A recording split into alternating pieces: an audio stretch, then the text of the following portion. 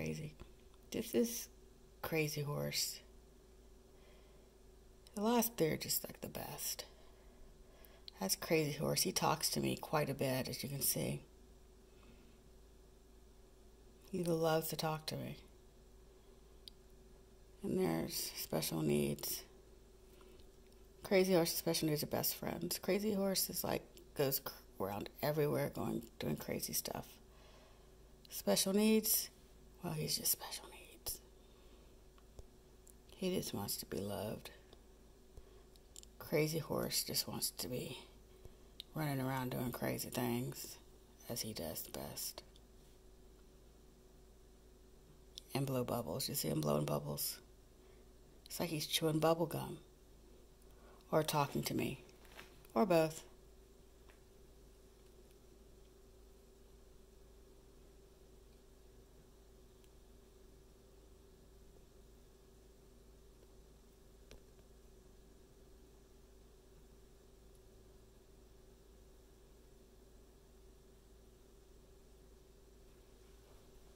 Crazy Horse has no control over his back tail.